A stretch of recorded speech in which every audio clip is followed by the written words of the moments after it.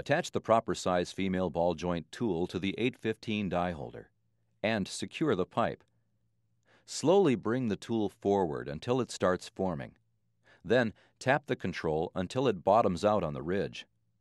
Back the tool off, and you have a female ball joint.